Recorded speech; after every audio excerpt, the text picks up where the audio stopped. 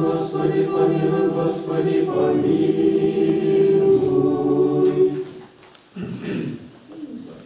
Во имя Отца и Сына и Святаго Духа. Аминь. Из творения святителя Анна Златоуста отрывок из толкования на первое послание к Тимофею. Немаловажное дело посвятить Богу детей, данных от Бога. Если они положат под здание твердые опоры и основания, то будут иметь великую награду, тогда как наоборот, за нерадение подвергнутся наказанию.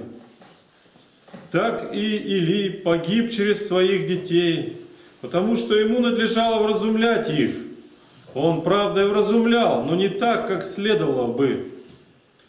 Ему не хотелось огорчать их, и он и их, и себя погубил. Слушайте это, отцы, воспитывайте детей своих в наставлении и поучении Господнем с великим чанием. Юность неукротима и имеет нужду во многих наставниках, учителях, руководителях, надсмотрщиках, воспитателях. И только при таких усилиях возможно обуздать ее – что конь необузданный, что зверь неукротимый, то же самое и юность.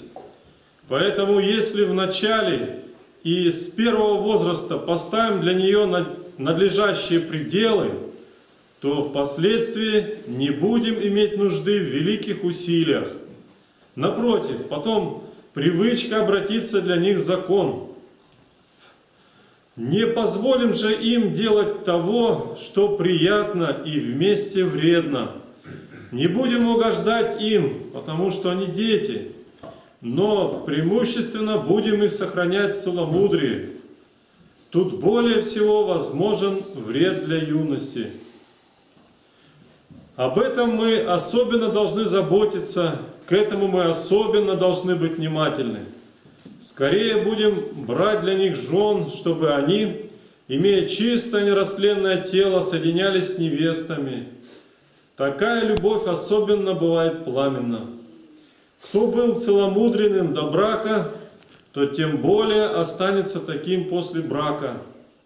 Напротив, кто до брака научился любодействовать, тот и после брака станет делать то же самое – Мужу, говорится, блудному, всякий хлеб сладок.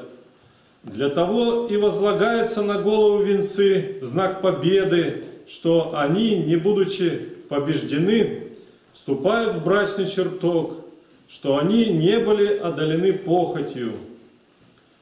Если же кто, увлеченный сладострастием, предался блудницам, то для чего после этого он имеет и венец на главе, когда он побежден.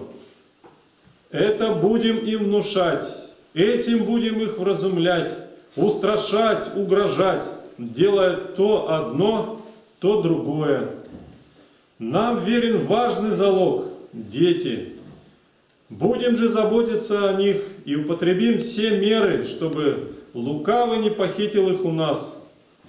Между тем, теперь у нас все происходит наоборот – мы употребляем всевозможные усилия для того, чтобы поле было хорошим и чтобы верить его благонадежному человеку.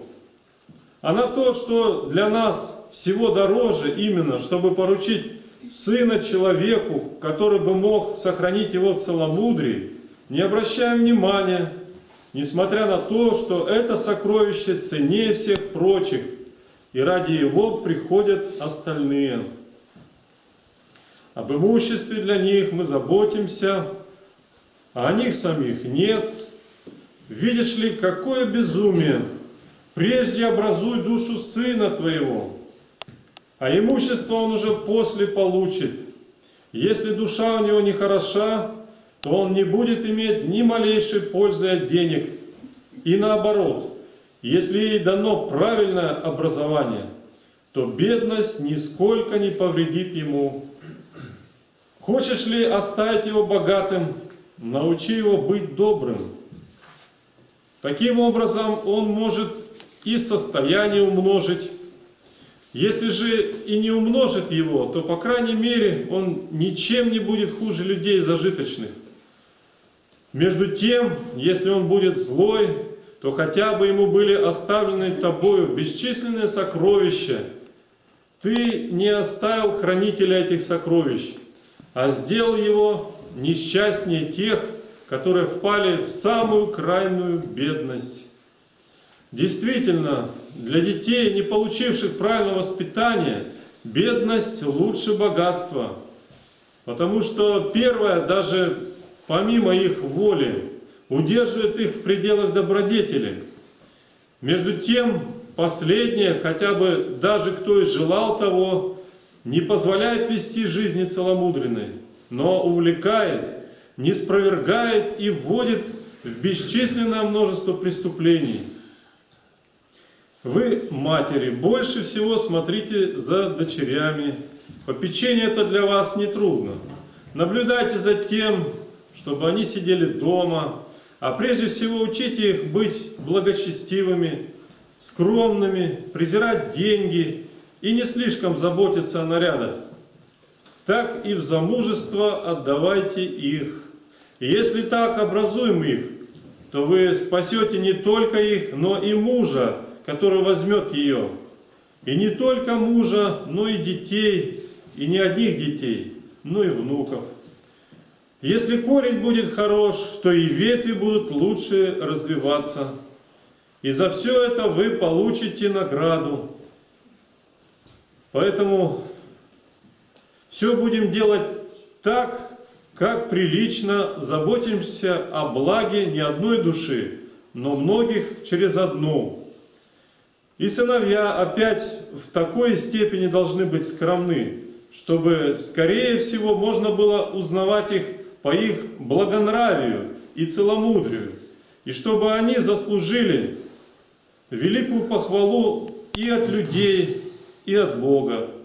Пусть они научатся обуздывать чрево, воздерживаться от лишних издержек, быть расчетливыми, нежно любящими.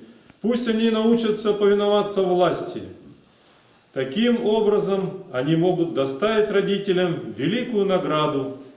Тогда все будет ко славе Божией и нашему спасению о Христе Иисусе, Господе нашим, с которым Отцу со Святым Духом слава, держава, честь, ныне и присно, и во веки веков. Аминь. Том 11, страница 680-682. Боже, будь милостив ко мне грешному.